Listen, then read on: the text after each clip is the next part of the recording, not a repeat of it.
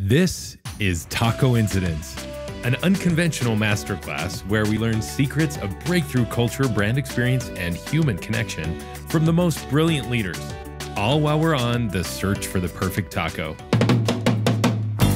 I met up with Cydni Tetro for tacos at Rico Cocina in Salt Lake City, Utah. She's built her entire career in businesses around creating these superhero moments for customers and her team every day.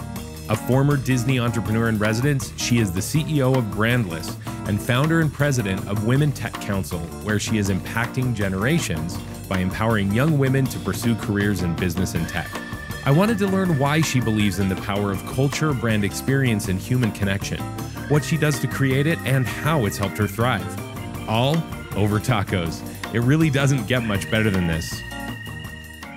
It smells really good. It does smell really good. It's here. like all in, Yeah. like you can't. Yeah, you like, walk in. It's like a full sensory experience. and I think it's because you have the back and the front, right? Uh huh. Yeah. Merging you full into the experience together. well, and yeah, like we, we we stepped back there and like looked at like the whole factory where they're making all these Yep. tortillas for here, but for for a lot of other restaurants in Salt Lake. I think it's a really cool expansion strategy, Yeah. right? That you, um, it, interestingly enough, lots of our entrepreneurs that you know where we met in the Golden Yeah, yeah, yeah. they think about that too, right? It's like you have this restaurant and it's got so much capacity, and so then he was just really smart on thinking of growth, yeah, right? Like how do I take all this cool stuff that I'm doing and put it into community, Yeah. which I love. so cool. I am so excited to talk with you and to hear hear a lot of the backstory of uh, what what makes Well, thank you. Sid Tetro tick. Yeah, this is the questions. Yeah. no, I mean seriously, it's I, I we we met um, when I was part of Goldman Sachs 10,000 Small Businesses, Yep. which is an amazing program. It's an amazing and program. You were uh, like just a captivating, engaging teacher, and I'm like, I have got to find out more about what like I feel like there's so many things that that that resonated so deeply with me and and my path, but also what um, what you believe in from a business perspective and and how uh, you've made focus on like your, your marketing and your customer experience and this like all-encompassing Right. brand experience has been like such a uh, hallmark of who you are. And so i was just like so drawn to that. And i'm so excited that we're finally sitting down and having a chance to to uh, to hear more so you got to i'll let you go first Okay. with the guac um, it looks amazing It does look good. The So- salsa looks really good too. yeah Let's sort of see how it's like hot it is. chunky got all I sorts of stuff in it um, Might be really these guys do it right see. Are you like really hot? spicy They're really spicier the better yep I think they make their own It's chips. hot. For Is sure, they hot? make their own trip. It's spicy. It's not like crazy, Mm-hmm. crazy. Good flavor. Mm-hmm. Um, anyway, so I don't even know why. Oh, Disney. So, um, so you were entrepreneur in residence. There. I was. Yeah, and uh, Disney has this like legendary um, reputation, Mm-hmm. obviously, for everything from they call each other cast members, being Yep. on stage, The entire culture. like the entire culture, and this whole uh, completely uh, immersive brand experience that Yep. Walt Disney himself like started. Absolutely. So, what's it like from the inside? What It's- is this like? It was one of the coolest things I've ever done to have an opportunity to work there. So, you know, I'd done tech companies before and was coming off a company. And one of the companies previously, I'd been chief marketing officer, and a really good colleague of mine was chief technology officer. And he was his mentor. So he's one of the smartest guys I know. His name's Tom No. He has his PhD in computational biophysics from Harvard. Okay. And Tom got recruited to go help um, create Disney research at Yeah. the Disney company. And so Ed Catmull, with, with the acquisition of Pixar, so Pixar had had this lab strategy, which said there's problems that the company's going to face over the next decade that are technology driven. Let's go have brilliant researchers thinking about this. And so when Pixar was acquired a, a little bit of time, they decided to create these labs that hmm. are tied to really brilliant academics to go figure out how you solve problems the Disney company faces over the next 10 years, specifically around technology. So think about things like robotics, AI, computer vision, Yeah. 3D, Yeah. you know, data analytics, all sorts of things that are take a long time for us to solve from a technology perspective. So they created the lab, and Tom went in to come go help them run the lab. And he'd been there a couple of years, and I was coming off a company, and I and Tom and I were talking, and he's like, you know, said I'm about ready to launch this entrepreneur in residence program. You want to come down and like do this? And I was like, that sounds kind of interesting. Like, when else am I going to get that chance? So I fly down on this weekend. I meet with the team, and I come back, and Tom's like, so if you want to come do it, it's yours. And, and, and then these are the caveats. He's like, look, it's the first time we've ever done this. We don't know exactly what it looks like. We don't know where, how long it lasts. We don't know exactly what it's structured. I can't even tell you where you'd be a year from now, but you want to come. I was like, I guess this sounds okay. I guess I'll jump in. And I was like, just the opportunity to go be immersed in the, the Disney culture and understand yeah. what that is and an opportunity to do also things that I really like in technology. Yeah. So I said, okay, I'm Great. just going to go do that. Yeah, super so fascinating. We right? li- lined up this project, and over the course of five years, I got to work inside of research. So Disney Research sits in Imagineering. Yeah. And in Imagineering, and we had a really unique vantage point because labs are over all of the business lines. ESPN, ABC, studios, theme parks, interactive, wow. animation. So you had the opportunity to really interact and think about technology across every single business line. Wow. For me personally, I, I, think one of the coolest things I, I got the opportunity to do is really understand how a lot of times as marketers we hear people talk about stories, mm. right? And you hear about messaging pitches. Yeah. But at Disney, I gained this great appreciation that it wasn't just about like how you write the right message. It was about this journey that you take someone who's your customer on and how they kind of emotionally tie into that and the authenticity of that story and the relationship that's created by it that ultimately determines the connection. Mm. And at Disney, it's just everywhere, right? From when I launched a bunch of products at Star Wars weekends. Oh, wow. I know Star Wars, right? I've watched all the shows, but yeah, yeah. I had to. in one of the instances, we we had created the carbon freezing chamber, and so guests would come, and you could become frozen in carbon like Han Solo. and so we were creating the carbon awesome. freezing chamber. It was super amazing. We Who had doesn't like, want to do right, that? Who doesn't want to do this? Who doesn't want to do that? Lights and fog machines, and like yeah, I learned all about like the questions like which fog machine should work in this building. Sure. Um, but then we had to create this whole storyline that mm. made sense for guests. That stay had to stay like authentic to what would have happened in Star Wars. So there's this real attention to like just because it might be cool, if it doesn't make sense in context of the story or what the customer or the guest would expect, then you don't do it. It just becomes part of who you yeah, are, and you yeah. get these experiences where you meet so many different people across the company, and then you're, you're just you, it becomes part of what you understand that you didn't understand before. That the reason that you should make certain decisions on product or customer or brand are because of what they enable in the future. And I think that's really, it's just a really powerful thing. So my mind really shifted from, I've been, a, I'm, I mean, I came out of computer science, right? So I build product, but I knew how to market. But my ability to become better at it and truly understand what it meant to create transformative experiences changed when I went to Disney. Mm. And it was one of my favorite things. Plus, I got to work in tech, and I love all the technology stuff along the way. Um, so you said that that like that kind of, you know, a little bit of a paradigm shift for you mm-hmm. as far as like from either from a marketing perspective, experience perspective, customer journey. Yep. How that how has that influenced what what even what you're doing today now? For me, it's now become just a core thread through really the way I think and even the types of companies that I've built.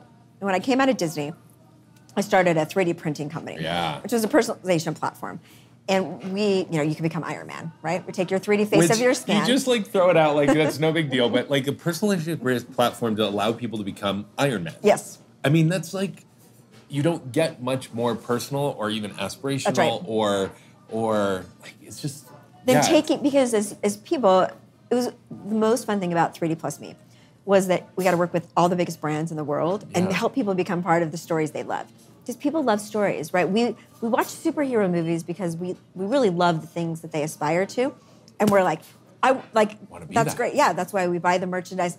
You know, the opportunity, which was a totally different experience, to say, how come for just a small moment in time do I put you in the shoes of Iron Man yeah. and you see yourself exactly as that? Because today or at previous, you know, you might buy your shirt or the socks or your cape Halloween or style, whatever. Right? Yeah. Um, and anything that represents that but when you see yourself on it, like 3D printed figurine as Captain America or as a toy, so Hasbro built a toy line for us. We're like, no, that's actually me. And the cool thing about when we built that is the software that we built took you into this moment. So even as we were building our scanning stations, like I want this to feel, it was my Disney days coming up, yeah. this immersive moment. Like you step into this world and you see yourself transformed to Iron Man. And yeah. so after you get your face scan, there was this whole experience where you were focused that you saw yourself become Iron Man. Where where did you have these booths? You had at, at the Super Bowl, at World yeah, so we so we at- we did agreements with Marvel and Star Wars, and then we also did Disney stores. We did Halo, Assassin's Creed, the NFL, Major League Baseball, and Major League Soccer. yeah. So depending on which one, you'd find us in different places. We did partnerships with Walmart, Target, and Toys R Us. So you could find them in very many of those across the country. Again, Times Square in the Toys R Us that used to be there, there was a permanent install. There was one in FAO Schwarz. So anyone who came through became their favorite superhero, really. So the Super Bowl, same thing, right? Because at the Super Bowl, you got to pick your favorite team. You scan your face, you pick your favorite team, you put your name on the jersey, you put your number on the jersey, and the and the 3D printed figurine that you'll get says Super Bowl 50 right on it. Wow.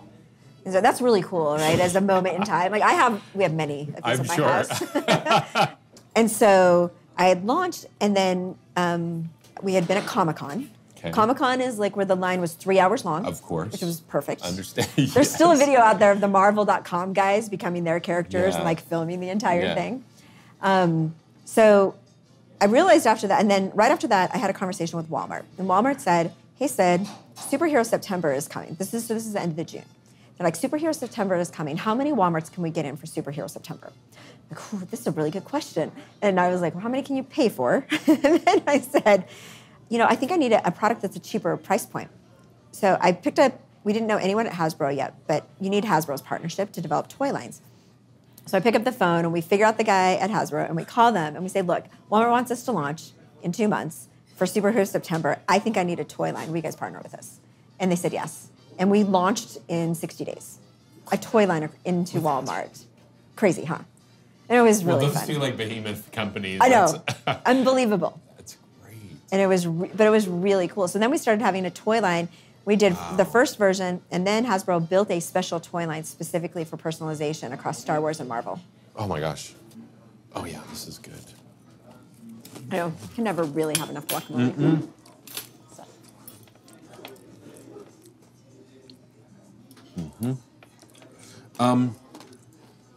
Man, this looks really good. it does look really good. Smells amazing.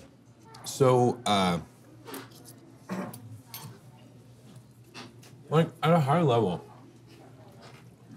why do you think the 3D printing of Iron Man or of Princess Leia or whoever it is, why do you think these things are so successful and resonate so deeply with people? Like, why is that something that's why is it something that's a big deal?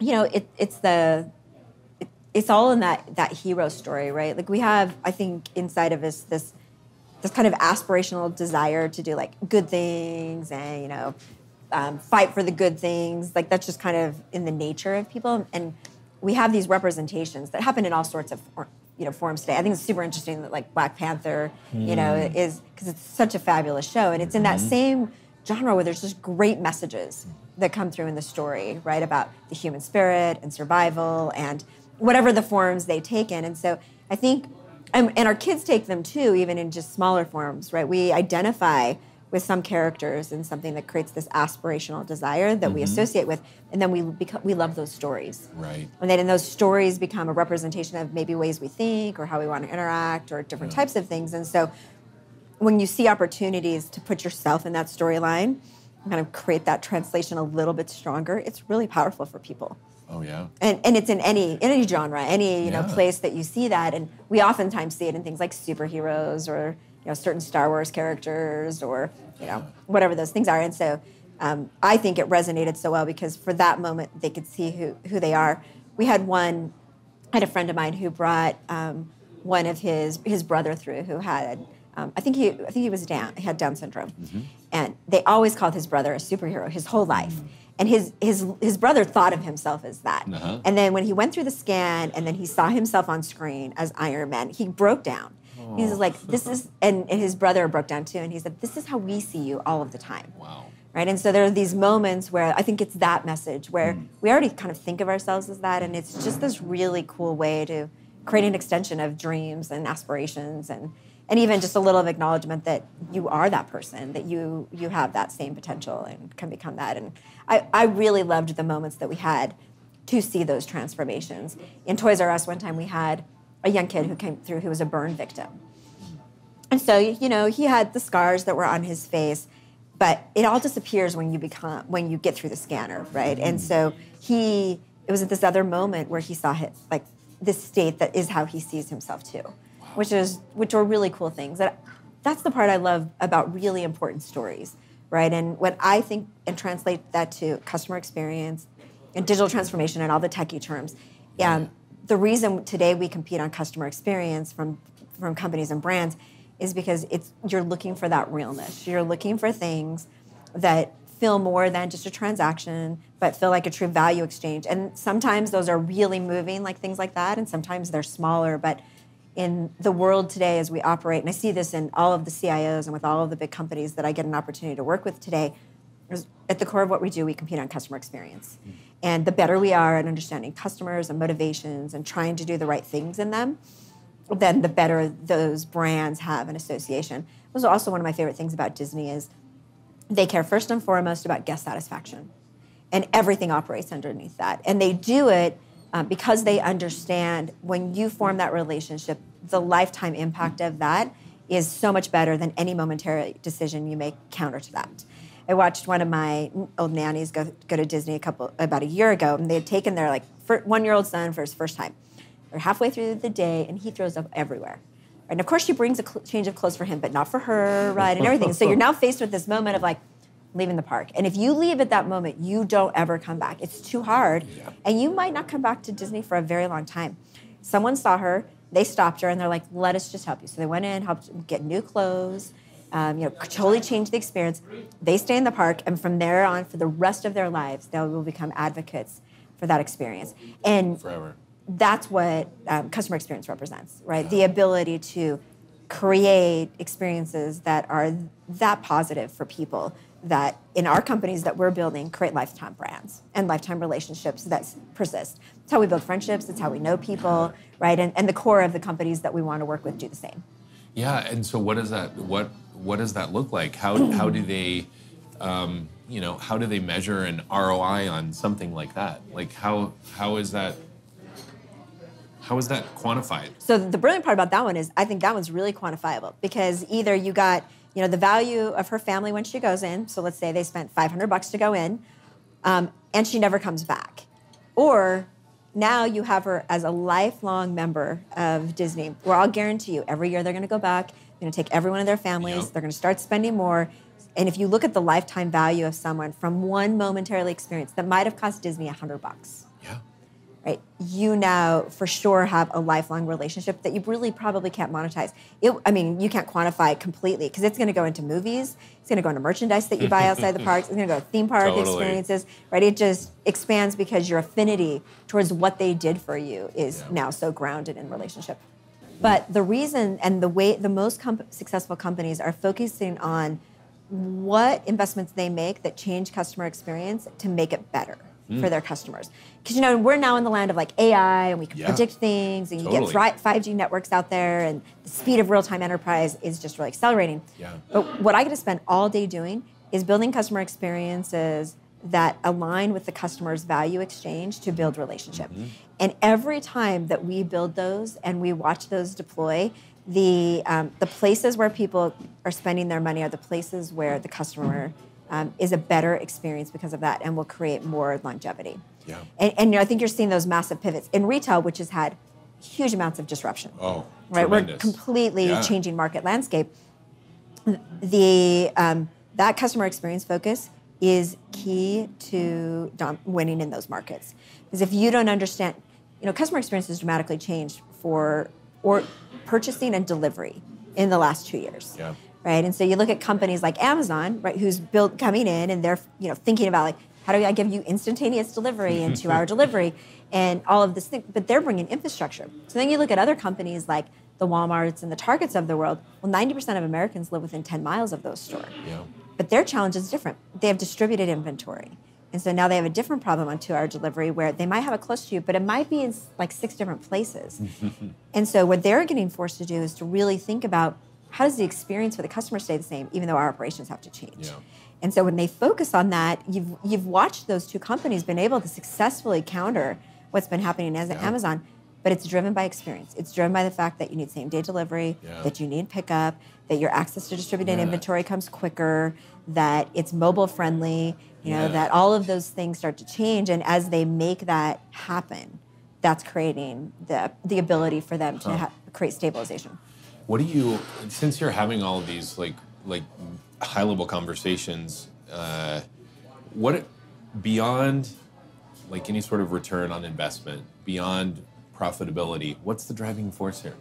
um, I think that's where the market, that's where everyone is required to go. We all compete on experience, right? We compete even in coming in here, right? Yeah. It's and it's an experience that you're looking for. You're looking for not just amazing food, but an opportunity to have an environment Yeah. that is the experience that you need. Yeah. And so all the stats, if every report that you read today says 90% of companies today believe they're competing on experience and that customers are willing to pay a premium for experience in today's market. I think you see that in your churro business. Absolutely. Right? I mean, it's, it's completely driven by the Yeah. same idea that Yeah. you're creating a different food experience and people are paying a different price for that. Yeah, yeah, and uh, and yeah, it's interesting. You know, they'll go, "Oh my gosh, but I get a churro like this at Costco for a dollar, and you're selling me a churro like this for three dollars." Like, yeah. And you're gonna love it. And it's amazing. It's really good, Yeah. and it's filled with happiness. exactly. And our team will ring the cowbell for you when it's your birthday. And Right, and it's this. And in fairness, if you're looking for the one dollar dollar churro, it's a different experience that they're going oh. after than that, mm-hmm. and it's also okay, right? And so, Totally. yeah, it also like starts to I think segment markets, mm-hmm. right? And so you say, which is the same thing. It was even true in our, our 3D printing business. If you, if it's not, if you aren't, if that storyline and that experience isn't as powerful to you, then you're just not going to spend the money on it right, right? And, and that's okay. But I just think the stat that's really interesting that says we're willing to pay a premium for experience, and companies are recognizing that. And so if they don't invest in experience, they're actually losing market share. Yeah. And what's fascinating to me about what you're doing is that you're kind of saying now you're using technology to return this like highly personalized, humanized experience. Yep. And that's a real. I think that's a really important part, right? Is that as technology replaces certain interactions, it doesn't change the fact that we need kind of this other side of it. Yeah. I also think It's more an enabler. Exactly. Yeah. And if you think about it that way, you deploy it differently. Right? When, when people talk all the time about you know robots taking all of our jobs, they're going to take jobs that make sense for that to happen. Mm-hmm. But there are this whole other tier of things that they can't take and that you can't replace. And, Absolutely. And I think that that's interesting. I think it all actually plays into the fourth industrial revolution, right? Yeah. This we were so digital for so long, and now the integration of digital and physical worlds, Yeah. right? It there's parts where that that human part. Sometimes it's just intelligence in those spaces, but it is the fact that I might not order my entire world online all the time, but it is changing things. Mm-hmm. Yeah. You know, even the way like you know my my 17 year old son, right? If he's hungry, he knows how to order on DoorDash, Right. Right, like. And that change that's changing the restaurant business, right? Totally, yeah. But that's okay because other things are, are happening that are also really powerful. And Yeah. it's it's really about this ability to adapt to how do you build that relationship with customer Totally. in changing dynamics. Well, Seth Godin calls it this new relationship economy that we're in. Yep. You know, it's like kind of that fourth It's totally changing. Yeah. Yeah. being the standard bearer for amazing customer experience. um, how have you taken that into um, other initiatives in your life? Mm-hmm. Like, I'm actually curious uh, about like how that how does that translate to your everyday life as a consumer? How does it translate to your family life as a mom and wife and and in the the family relationships, but also, and I, I'd love to hear about how that how that has in, informed and really influenced your involvement with the Women Tech Council in Utah, which is such a huge part of your life, Yeah. and it's been such an amazing force for good here in in Utah, and you started it. I did. And so, congratulations, Yeah, because that's amazing. And you're seeing like tremendous, tremendous things happen. Yep. And so, what are some of those things that are happening, and how has your your kind of background Mm-hmm. empowered those things? you know, is we talked a little bit about how there was this kind of catalyst at Disney where it kind of become, for me, the opportunity to kind of be part of that amazing storytelling environment just became part of my DNA. And I really do think it changed it changed the way I operated and viewed the world. And I've always been kind of acutely aware of wherever I'm at, like, hmm, how are they marketing? Like, how, what's the conversation they're creating? Like, it's just in my DNA, right? I show up, I'm like, oh, that's really interesting that they, you know. I, I feel you. I can't take the glasses off. I can never. I can't. I'm like, there's trash over there. There's wet spots, whatever. You know, like. Right. One of my favorite pictures was Walt Disney, uh, business pictures, is Walt Disney, this black and white photo in his suit picking up trash in Disneyland. Right. the ground. Well, and there's just this like standard of how it like seeps into the way you think about the world. I think the way you interact with people, the expectations you have of them, and even the way you approach, you know, building companies or employees or people. I like to believe that it made me better at, you know, things and it taught me things that I hadn't really been like maybe thinking as deeply about before. Because you definitely become more aware of how one moment impacts relationship forever Yeah. Right? And and the kind of strategy or the thinking and kind of just the fundamental behavior that you should have around relationships with people. Ultimately the most important thing we do is our relationship with people. And i'm a firm believer that we have a responsibility to figure out how to use our talents to help other people right? And i think that translates in everything whether that's in our family you know with our spouse relationship or our children's relationship or extended family community work that we do employees that we do like I really feel like my job is the people who are around me, am I helping them leverage the talents they have? And am I doing the same thing? Am I using it in such a way that it helps them? You know, and so I, I often say that I have this barometer in my own personal life, which is as I work with people and you know, we switch projects or we leave companies, mm-hmm. well, those people still want to work with me. Mm. And I really evaluate if I'm doing the right thing as a leader and as um, a person on that team in um, with those interactions with people. Because if they say, "Hey, Sid," I'll- like tell me where you're going next, or I will follow you, then I did a really good job at helping them reach the potential and using the talents that I have to, to make an impact with people. And so when I think about how I share my time or where I spend, like that is part of who I become. And I would tell you that that probably wasn't the leader that I was at when I came out of grad school, right? And and all of those experiences le- have led me to say that human connection is super important. So when I evaluate things like how I shape customer experience today, it's in that lens also. Like what is the thing that you you expect and the thing that makes that moment more powerful and better than it could have been? Not just because you can do it, but because it's the thing at that moment that makes contextual sense and makes a difference for someone. Mm, you know, and so for me that translates into things like the Women Tech Council, Yeah. where you know we and we use my software world to like validate everything. Right? Just like, oh, we don't know if this is a good idea, but let's go validate it and test it and build and kind of have that theme that goes through my career also. But you know, on the Women Tech Council side, it's always about we're trying to really drive the economic impact of women in tech and address that pipeline that goes from high school all the way to the boardroom. And each one of those audiences have different needs. She Tech, which is the, our high school girls STEM activation program, it's really about how do we help you know expand the talent pipeline and the driver for that is because if diverse teams perform better on revenue and profits right? They have mm. better use of thought. So for companies Wow. worldwide Yeah. the reason that you need diverse thought is because you outperform in revenue and profits which are the drivers right? All the good things we're doing that to do good are driven back by that. So we need a bigger pipeline Yeah. right? We only have 5% of female executives in technology only 23% of the workforce. And so when we go in and talk to those high school girls, they tell us that 90% of them don't know any women in tech and have no role models. If you have no role models, you really cannot become, for the majority of people, what you can't see. And so the, the power behind that program is how do we introduce those young women, thousands of them? This year there's 3,000 girls in the program. How do we help those young women meet role models that they will never meet at home? And the program is so powerful because we have 30% of those girls coming from Title I. It hits every county in, in the state of Utah, so you get all of the rural um, connections. And those young women are choosing STEM because of those experiences.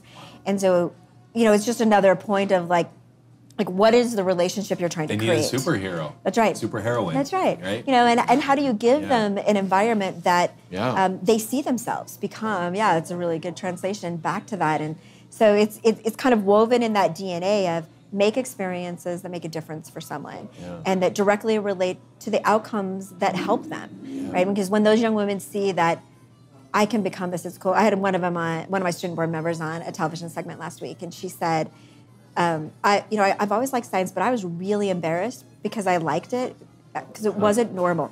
For us, it's always been about that positive side, mm. right? Around what is it that we collectively change that increases opportunity? Because when we do that, then we get the outcomes that we want. It's amazing, right? The fact that you change the trajectory for someone's life, because what it means for the future of a lot of those girls is an entire different set of opportunities that might not have existed before.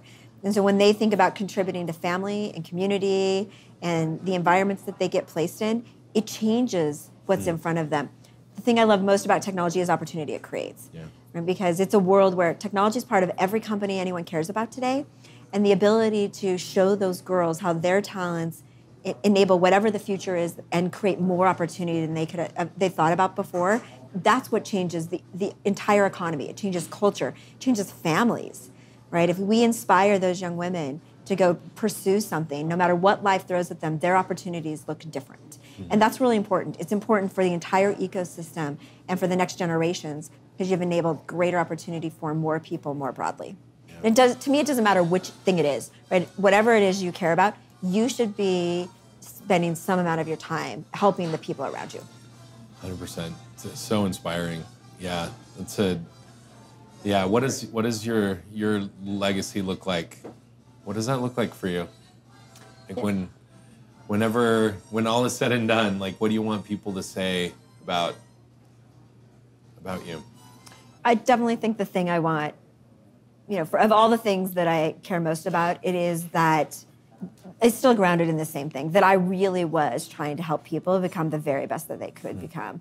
I view that in my kids, right? Like my stewardship there is whatever moment that we're dealing with that I'm helping them get those skills that they become the very best person they possibly can become and the talents that they've been blessed with, they learn how to bless the lives of other people around them and recognize talents in other people, right? And um, of all the other things, right, that we all like to talk about, right, whether it's wealth or family or things like that, at the end of the day, it is the relationships you create with people and the impact that you have on doing good for people around you. you know, so oftentimes, I don't think I have enough time to do all the things that you know come to your mind about how you should help people. Yeah. But I do try to operate that way yeah. you know, with people who work for me, with my family, with my kids, like um, spending that time. As you think through and and you're in a, a space of bringing on new clients to Im- help them embrace better this idea of making a difference in the world, of creating impact. You're helping inspire them. You're having conversations with them about what they can do to create these great and better experiences, enhanced experiences. Uh, for anyone that feels like it may be a little bit too much or a little bit tough to do, um, what's one thing that they could do in the next day to even just dial it up just a little bit? What's one thing that you would suggest a leader do? So when you come, when you talk about changing culture and trying to understand experience, the very best place to start is how we ourselves interact with the people around us. Ooh, yeah. Right. So uh, for me, the challenge would be when was the last time you flipped it around and either like asked someone else how to solve the problem versus solving it for them mm. right or asked everyone from in every you know or even just the, the interaction that you have from someone who's manning your front desk to someone who's you know helping you with your schedule like or maybe there the custodian. Is, or maybe the custodian or anyone that you run into yeah. right i think the challenge for us is to both acknowledge and appreciate every person that you run into and in some way um, drive an interaction that's not about us, but about them. Because oftentimes, as leaders, we're really busy and, and we often know answers to things, which sometimes mean we forget about the other side of the recognition and the contribution of all of the people in every position and in everywhere in life. Right? It doesn't actually matter if they work for you or not. And I think when we start thinking others first, us second, in those interactions, it changes our perspective about all of those things. Thank, Thank you. you. very much. You. And uh, yeah, I really look forward to sharing this with, with people. I think I know that it will be completely inspiring. Special thanks to our host, Rico Cocina, for creating the ideal place for us to talk about breakthrough culture, brand experience, and human connection. The atmosphere, the smells, and the taste were an incredible experience. You know, they make tortillas so good that businesses all over Utah serve them.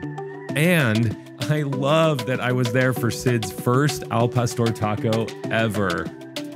Join the taco journey on my website. You are not going to want to miss out on the resources, courses, and of course, the national taco tour I'm planning when I launch the book search for the perfect taco. So follow me on social media, subscribe to my channel, and tune in to another episode of Tacoincidence, where we'll continue to explore the secrets to level up your culture, brand experience, human connection, and your taco game.